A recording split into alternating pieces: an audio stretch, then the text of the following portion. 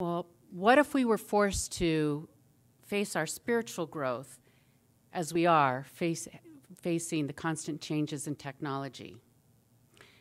At least with technology, if we struggle, we can ask someone with more knowledge to help us, perhaps even do it for us.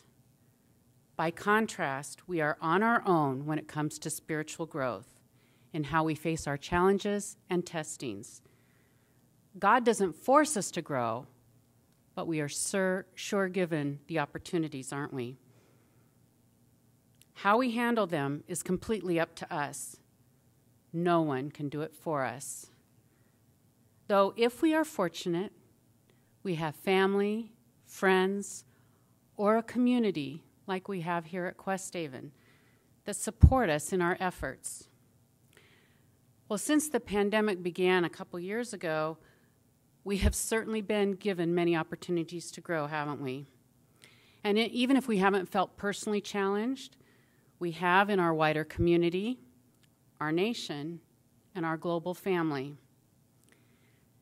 Caroline Myss, a medical intuit and modern day mystic, wrote a little book at the beginning of that pandemic in early 2020 entitled Intimate Conversations with the Divine and it's basically a little book of prayers. And in that book, she says, We have never known a time of such great change.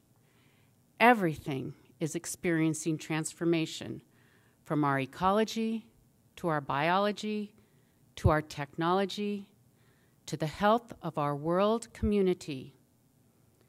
We cannot keep up with the speed of change, and nothing is as frightening to us as change. No wonder there is so much fear in the air. So many people want to go back to the way things used to be, to simpler times. But evolution never moves backward.